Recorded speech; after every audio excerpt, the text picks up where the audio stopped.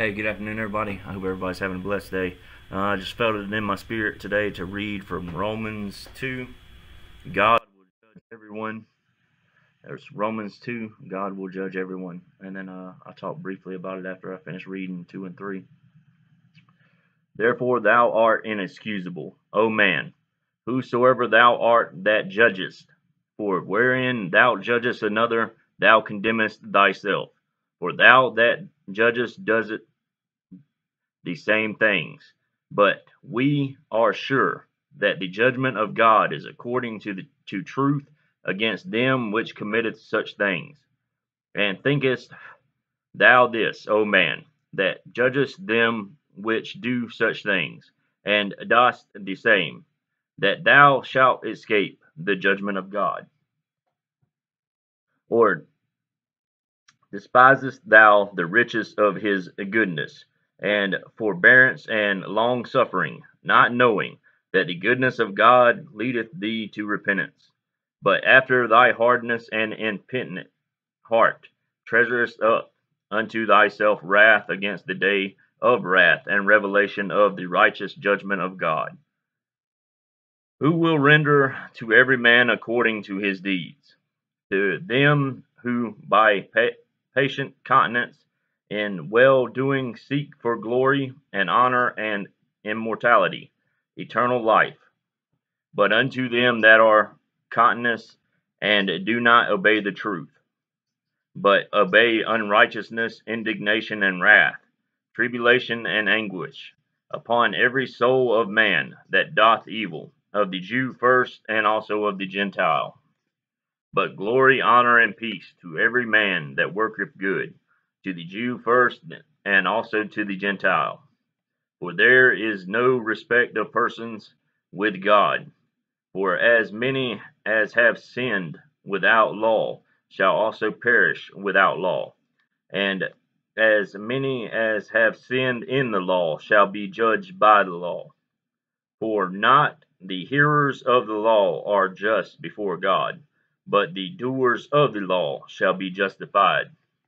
For when the Gentiles which have not the law do by nature the things contained in the law, these have having not the law are a law unto themselves, which show the work of the law written in their hearts, that conscience also bearing witness, and their thoughts the meanwhile accusing or else excusing one another in the day when God shall judge the secrets of men by Jesus Christ according to my gospel.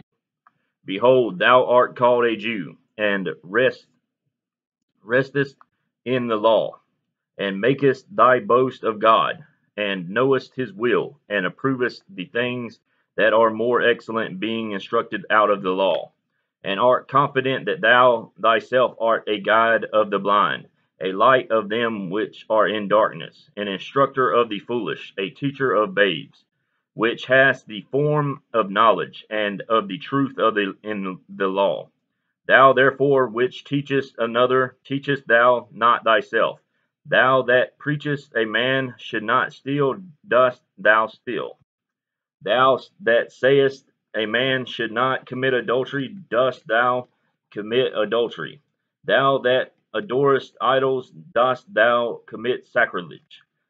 Thou that makest thy boast of the law, though breaking the law dishonest, thou, thou God, excuse me, I had one of the moments there. I had to recheck what I said. For the name of God is blasphemed among the Gentiles through you, as it is written. For circumcision verily profit if thou keep the law, but if thou be a breaker of the law, thy circumcision is made uncircumcision. Therefore, if the uncircumcision keep the righteousness of the law, shall not his uncircumcision be counted for circumcision? And shall not uncircumcision which is by nature, if it is fulfilled the law, judge thee, who by the lead letter and circumcision dost transgress the law.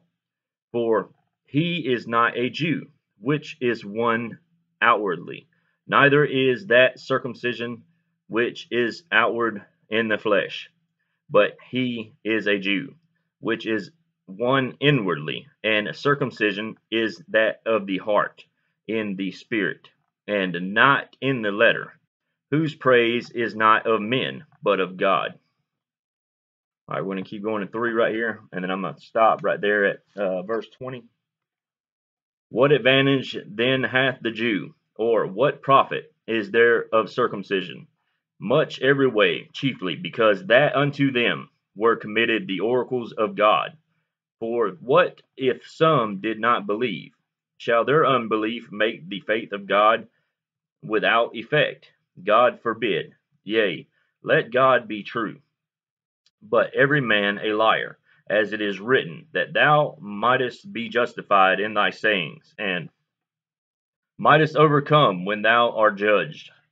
But if our unrighteousness condemned the right righteousness of God, what shall we say? Is God unrighteous who taketh vengeance?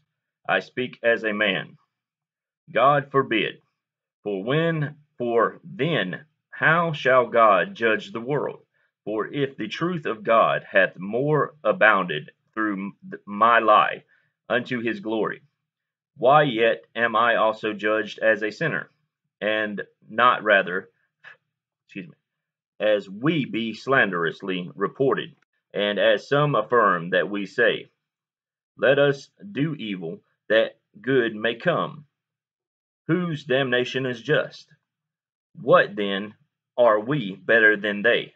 No, in no wise, for we have before proved, both Jews and Gentiles, that they are all under sin. As it is written, There is none righteous, not, no, not one.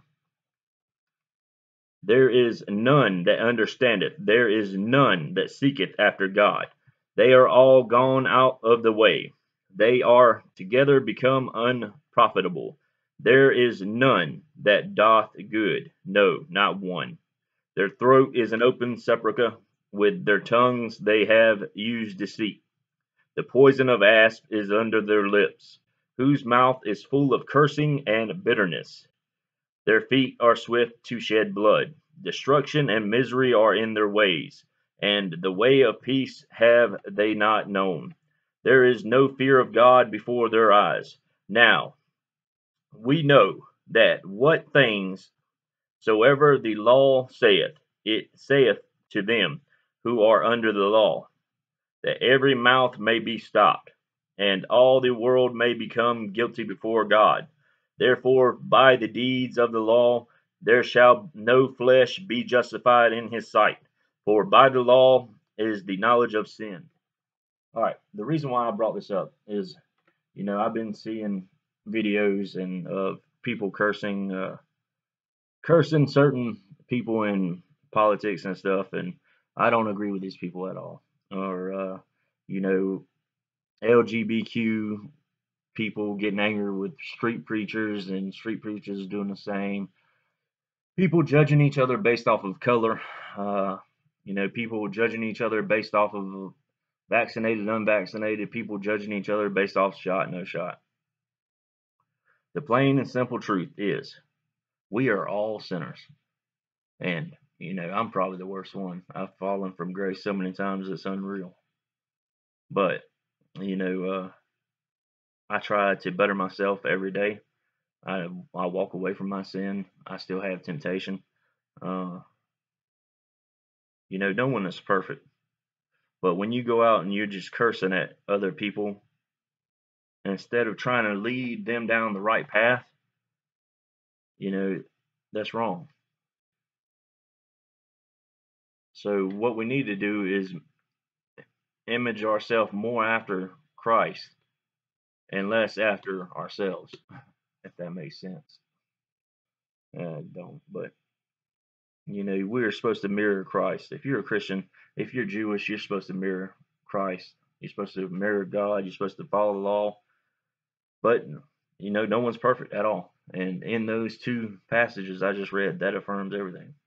There is no one that is perfect. The only one that was perfect was Jesus Christ, which died for our sins. Stop judging other people. You know, stand up for what you believe in, but do it with meekness. uh, because the words of your mouth can either make or break someone. And uh, I'm guilty of this more than anyone. Uh, I need to watch my mouth and what I say to other people as well. I'm a sinner, just like anybody else. But you know, it's turning around and walking away from your sin is what you need to do. And seek Jesus Christ, seek baptism, seek repentance, seek God. And the way to do this is through prayer, fasting. Pick up your Bible, read your Bible. Uh, I've learned a lot since God come in my life. Mm. And uh, I owe everything to God.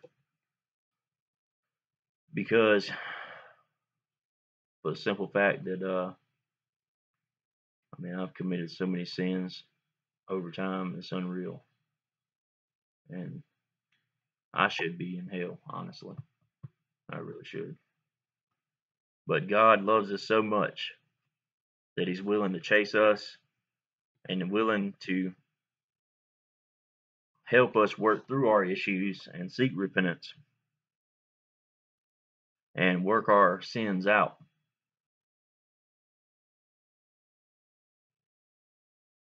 So uh, stop judging each other, stop cussing at each other instead. Offer them offer them Jesus Christ, which lives in your heart. You heard it in his words. You either have a circumcised heart or you have an uncircumcised heart. Uh, mine has been uncircumcised and mine has been circumcised. And the only way that can happen is through Jesus Christ. Uh, by seeking Him, by following Him, by trying, by turning away from our sin, adultery, you know, uh, wrath, profanity, uh, lasciviousness, uh, several things. You choose it, murder, whatever. Lying, stealing, you know, um, put your sins down and walk away from them and seek God. Seek a better life for yourself instead of, you know, sin that leads to death because all sin leads to death. And, uh, you know, that's not something you want to wish on someone else or yourself. Instead of cursing at the problem, try to fix the problem by offering them Christ. Instead of trying to hurt someone, try to help someone.